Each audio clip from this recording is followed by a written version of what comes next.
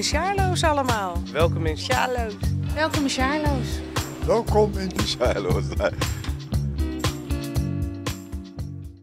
Derde. Wat mij betreft zijn ze eerste.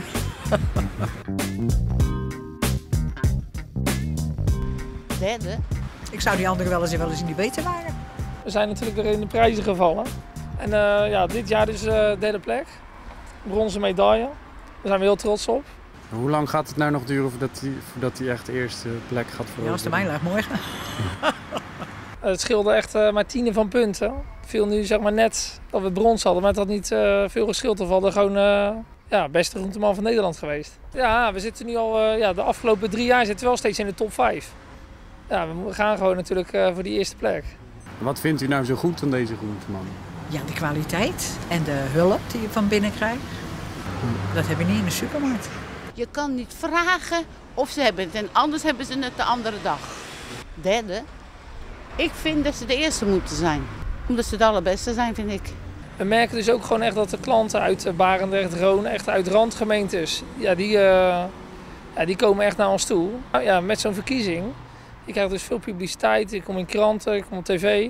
En zo gaan mensen toch, eh, ja, ontdekken ze ons eigenlijk. Wij, eh, wij houden ook gewoon echt van kritische klanten, die gewoon zeggen van, eh waarvoor niet nummer 1?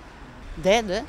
Ja, volgend jaar nieuwe ronde, nieuwe kansen. Ja, veel succes voor eh, volgend jaar. Juist, nou bedankt, we gaan ervoor. Wat mij betreft zijn ze eerste.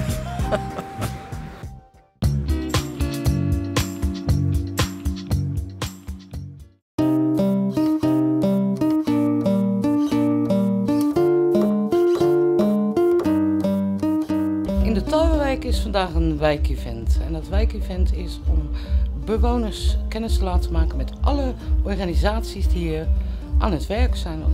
Politie, eh, Stadsbeheer, Dok, Dok Shiloh's, eh, vraagwijzen, wijkteams, de kerken die aanwezig zijn in de Tarwewijk. Tarwezicht, een onderdeel daarvan. Dat is een, eh, een artsencentrum. Niet te vergeten natuurlijk, onze grootste eh, participant is natuurlijk de gemeente Charloes. Even nights when I went nuts. There were days when I was fine. Bewoners die eh, uit hun eigen cultuur eten verzorgen. Het doel van het feest was om met elkaar, voor elkaar en vooral elkaar leren kennen. En wat we doen. Ook de organisaties met elkaar te laten participeren, zoals het zo mooi heet. En ook hopen dat de samenwerking tussen deze partijen ja, dat dat tot stand komt.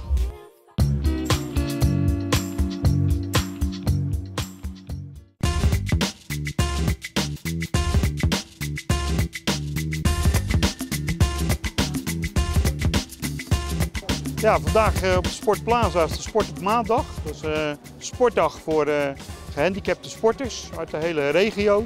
Worden er eh, sporten getoond die eh, mensen met een handicap eh, kunnen doen. En dat gaat van schaatsen tot paardrijden, aikido, eh, zeilen zie ik. eh, fantastisch. Mooi weer en een prachtige opkomst. Het is de eerste keer dat ik op zo'n eh, dag eh, ben. Maar het, eh, ik vind het prima dat het, het heel leuk om hier te zijn. eh. En om, om het onder de aandacht eh, te brengen. Nou, dit zijn verschillende organisaties die eh, het organiseren. Onder andere Sportsupport zit erbij. En dan de organisaties ook voor sporten voor gehandicapten. Om, ik vind het leuk om, om met de andere mensen te spelen.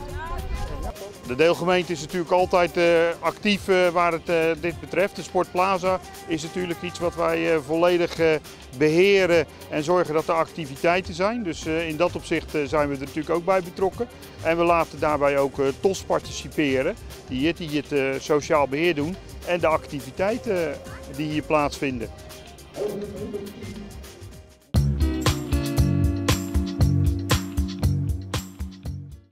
Ik ben Brigitte Pepermans van kinderboerderij De Molenwei, de dierverzorgster.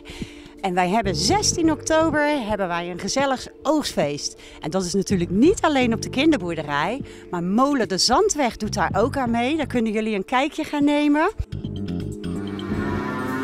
En educatieve tuin de Albatroslaan doet ook mee. Daar kunnen jullie gaan pizza bakken. Jullie kunnen je groenten en fruit gaan oogsten.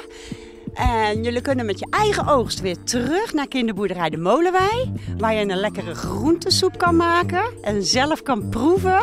En ze kunnen een Charloise draai maken. Wat is dit? Dat is een aardappelwokkel met heerlijke aardappelkruiden. En dan kun je natuurlijk zelf proeven. Tot ziens op kinderboerderij. Oh, 16 oktober van half 2 tot half 4. Voor kinderen van 6 tot 12 jaar. Tot ziens op de Molenwei.